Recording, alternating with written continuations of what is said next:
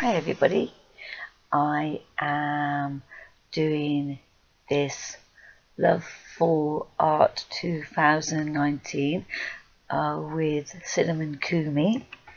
And um, it was a little bit difficult to decide on what I was going to draw because of all the usual things, the trees, autumn and I asked one of my students, what do you think of when you think of autumn? And she said, I think of owls drinking hot chocolate with gloves on.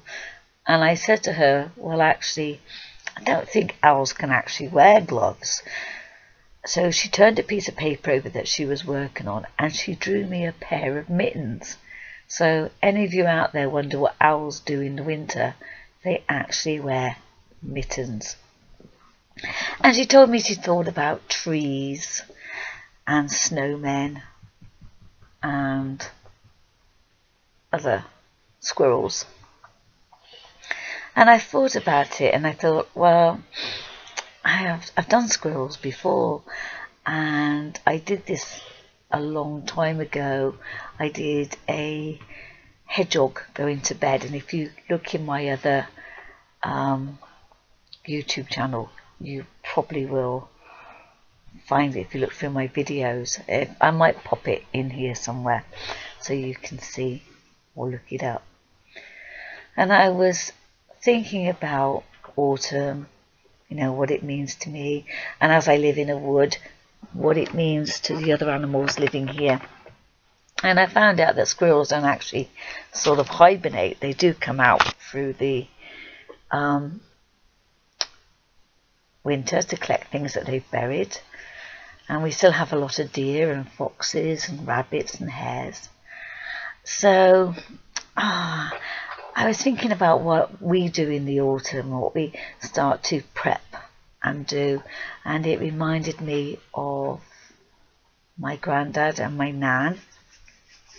And it reminded me of the log fires that we have here and about some of the stories that we read over the winter.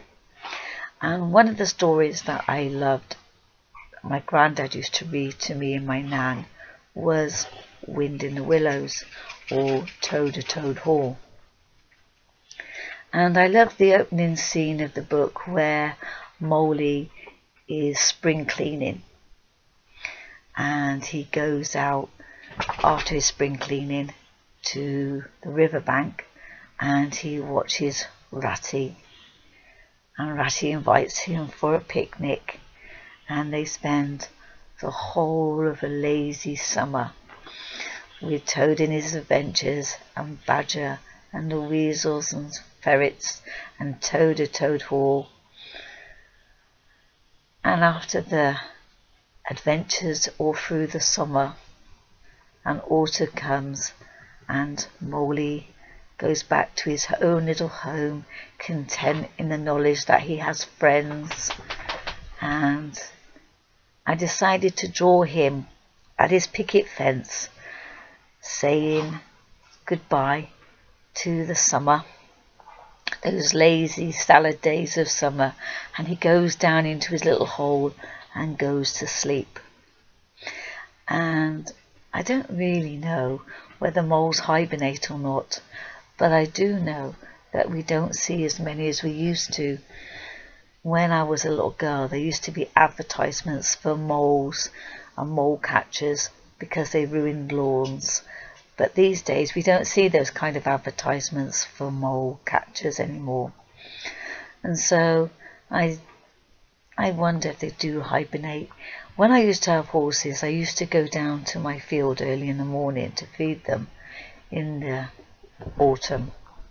And you would see mole hills, and you would sometimes see the moles emerge from the mole hills, and you would see them going across in the dew. But it's not something we see these days. I don't know if it's because it's more concrete or there's more land being built on and when you live in a, a big town you don't see them so much as you do in a village I don't know but the idea of Moley stood by his white picket fence, waving goodbye to his friends. I thought it was a good autumn thing. Now, I'm not very good at drawing moles. It's not something I draw very often. And this is just a little fun exercise just to warm me up. I am in the middle of Inktober, so I am quite at the moment stretched out with drawing. I am also packing up um, a piece of art for an exhibition and about to do another piece of art, which we do in, in our town. It's called Weird Weird Wiltshire, and I live in Wiltshire, and we have lots of folklore and legends, and we have one about the Moonrakers, and the Moonrakers were a group of farmers that used to smuggle cheese from the custom and excise. And one day the custom and excise thought that they would catch the farmers out for smuggling cheese. And the farmers, being a canny lot, knew that this was going to happen.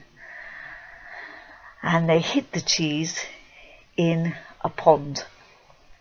And when the custom and excise men came to get them, they were raking, and they thought they were raking, well, they could see they were raking at the moon, but they thought that the farmers were idiots because the farmer said we're trying to rake out the cheese, and they knew it was the moon custom and excise could see it was the moon. So the picture that I'm going to do is a hare, because we have lots of legends in our area about hares. But he's going to stick his paw in a puddle and look at the moon and that's what I'm going to be doing so at the moment I have been flat out with open studios and work for exhibitions and in Inktober so I do feel like Mr. Mole I do feel like it would be really really lovely just to relax and hibernate with a good book, maybe Wind in the Willows. There are lots of good children's books that you can cuddle up to in the winter, like Alice in Wonderland is a good one. Takes you to far-flung places with really, really weird characters. But in the depth of winter, what I really like to read is The Lion, the Witch and the Wardrobe with a roaring fire and a small plate of Turkish delight. Mm. Do you know what? I don't think there's anybody that doesn't like the Lion, the Witch and the Wardrobe. I think everybody, all my friends wanted to buy a wardrobe that we could actually go into, into another land. When you get a bit older though, and you don't really want to live in that kind of fantasy. Another good book to snuggle up in the winter is The Hobbit and Lord of the Rings, but The Hobbit especially. And I can tell you a little bit of story about how I discovered Bilbo Baggins for myself. Was I used to teach riding many years ago, and there used to be every now and again a big black dog would appear in the field and he always seemed to know his way around, but he was a really sort of like an unusual dog. And one of the people that I kept my horses with in the field called him Bilbo. And he goes, Oh, there's Bilbo off on his adventures. I went, What an unusual name for a dog. And he goes, You never heard of Bilbo Baggins? And I went, No. Anyway, by the end of the week, a book was shoved in my hands and I was told to go and read The Hobbit. While I was in my element, it was one of the best things I'd ever read. And even better was I lived in one of the shires, Wiltshire, but Oxfordshire, or Oxfordshire as we like to call it, is only 20 miles away from where the actual Lord of the Rings was written. So yeah, I'm quite lucky living where I live. Not only do I live with mystical Avebury and all the stone circles, I also live down the other end of the fantasy with Middle Earth, Lord of the Rings. So um, I do hope you enjoy this. You know, a because I'm tired it's not um, what I call one of my best drawings but I really want to take part in the spirit of the thing because it's it's not every drawing that you do has to be the best. It's just keeping your hand in and sometimes drawing things that you're not really comfortable with and moles are not something that I'm really good at because they don't really lend themselves too much really. And also I'm coming to the end of this book. I've got about 20 pages left and I see that other people leave their sketchbooks and they don't um, finish them off but I'm loath to do that. So it's making it more and more difficult as one side's getting fatter and fatter and it is falling apart as you can see by the yellow page.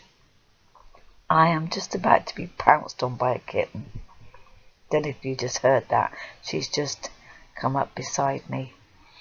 And that's another thing I love about autumn is the log fires start to be lit and the animals all lay down beside well there's another cat just coming in. Don't know if you heard the cat flap. And all the animals come and lay down by the fire.